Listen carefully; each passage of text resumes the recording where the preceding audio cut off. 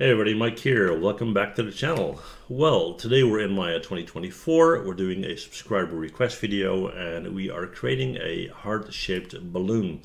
And I received that request from Cynthia, so thank you for sending that in, right? Okay, now, um, first of all, let me start by saying take your time modeling this, right? I'm not going to spend ages on it because this is simply a, um, a tutorial. But if you're going to do this, the end result will look much better if you tweak the vertices that your heart looks perfect, right? And again, I'm not going to do that for the purpose of this video, but be aware, yeah? Okay, so we're going to take a polygon plane. I'm going to hit Control A to open up the attribute editor. We're going to go in here. We're going to set that to 3 by 3. Yeah? Okay, cool. Now, let's turn that into half of our heart. So first I need to move the pivot point. Now if I hit W, you'll see it's in the middle. So I'm going to hit my insert key, right? And then I'm going to hold down V and snap it to the vertex over there. Now a lot of people say I don't have an insert key or I don't know where it is. Well, it's next to your home key on your keyboard. But if you don't have the insert key, what you can also do is hold down the D key while you're moving, right? So I'm going to hit the insert key again. And if you are holding down the D, you can now let go. We're going to hit W, we're going to hold down X, and we're going to move it to the middle. Right. Now let's grab some vertices, right click vertex, and we're going to start to change this into something looking like half of a heart, right?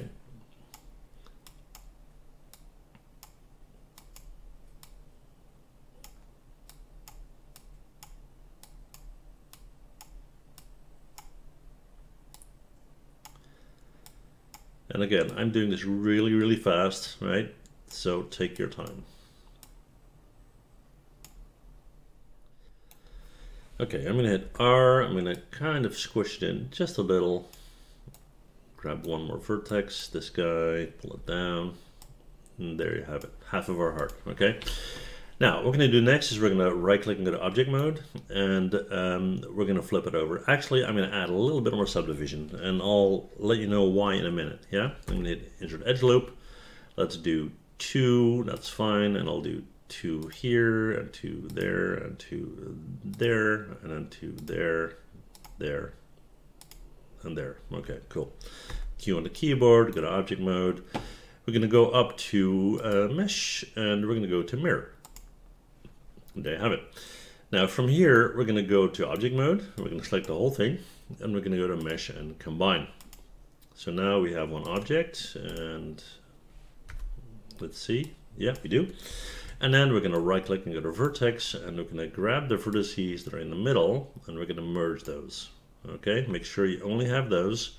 Go to edit mesh and merge.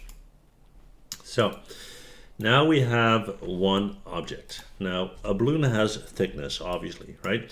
So we need to give this some thickness. Now we're going to extrude it. We're going to, uh, in my case, I'm going to hit Control E because that's my shortcut, and otherwise you're going to go up to Edit Mesh and Extrude. Yeah, and we're going to give it a slight thickness. Let's try 0.2. That's way too much. 0.02. That's better. 0.02, maybe even less. 0.01. Okay, then we're going to go and add subdivisions, at least five. Now you're probably thinking, well, why are you making it so flat? Because it's supposed to be a balloon, right? Well, bear with me. Now, now that we have this, what I'm going to do is we're going to turn this into an nCloth object. So with this selected, we're going to go up to our FX menu, right? Then we're going to go to nCloth and we're going to create an nCloth object. Now, as we do that, if we open our outliner, you'll see that we now have a couple of additions here. We have a nucleus and we have an nCloth, okay? Now, if I open these up in the attribute editor and I go to, uh, let's see, we'll go to the nucleus one first, you'll see there's a setting for gravity. Now, keep in mind, this will be a simulation or we're going to pressurize this thing, okay? And if gravity is turned on, it will pressurize it, but also fall down because of the gravity. So we need to set that gravity to zero, right? Gravity direction, although it is set to uh, zero, right, we'll probably going to want to, well, I mean, technically it shouldn't move, but you could set this to zero. Everything else I'm going to leave alone right here, not make it too complicated, yeah? Okay, so that's the nucleus. Now let's look at the nCloth shape 1. Here is a tab called pressure. We're going to click on the pressure tab and we're going to increase that pressure to, I would say, about 1, right? And we're going to go down here and in our animation slider, make sure you have at least a thousand frames. And with one set up as pressure, we're going to hit the play button and see what happens. Okay. Now you see that this guy turns into a big fat heart-shaped type deal. Yeah.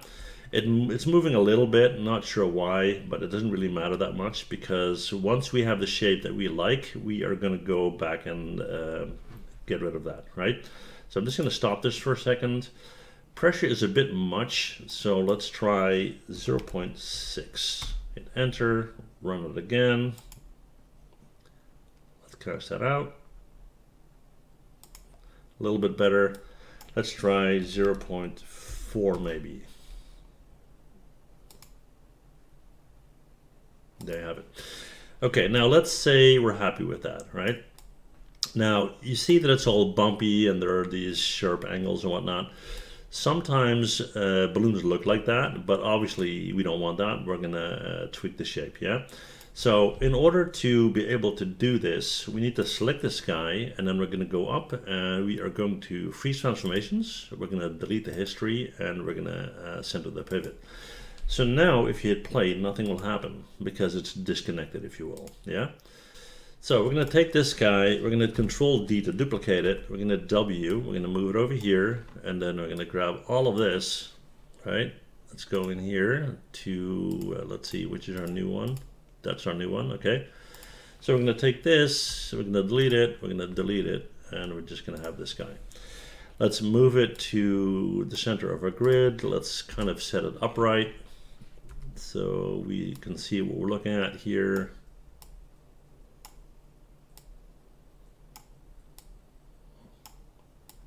Alrighty. Now, if we hit 3 to preview smooth this, you'll see you get something looking like this, okay? Oh, it's upside down, that's fine.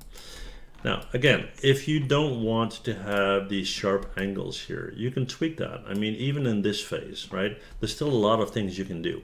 So I could go in here and I can uh, right click and go to vertex mode, for example, and grab these and these, right? And simply hit B for soft select and then hit W and move them in a little bit.